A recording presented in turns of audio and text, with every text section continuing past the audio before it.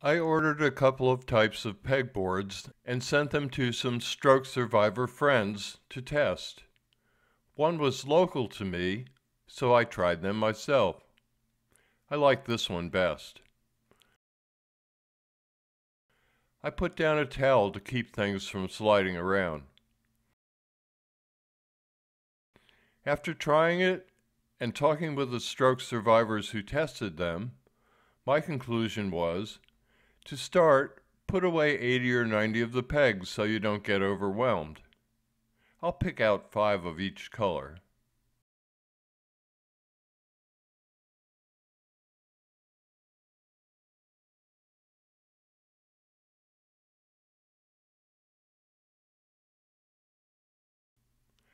Don't try to put them in the holes right off the bat.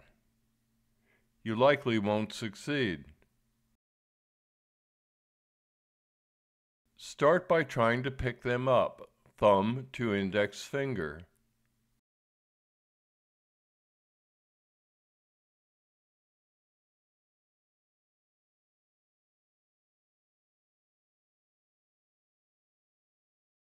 Then, if you can, pick them up in the proper orientation to put them in the holes.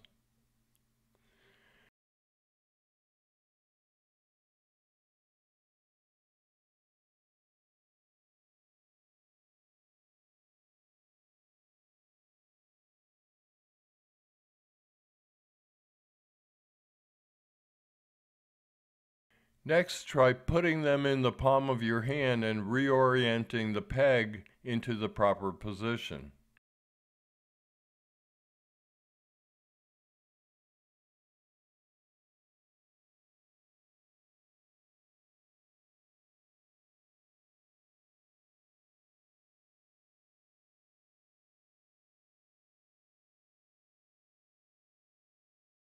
Now you are ready to try and put the pegs in the holes.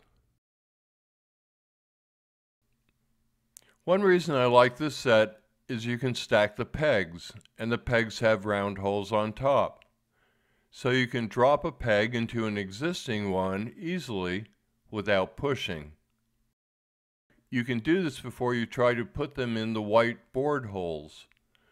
The board holes are square and tight and require some pushing effort.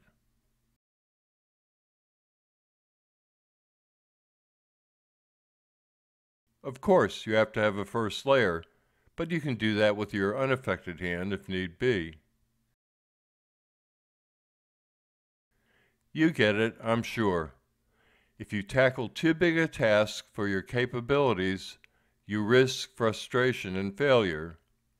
I found success builds on success, so I set small achievable goals often, which is why I broke this task down.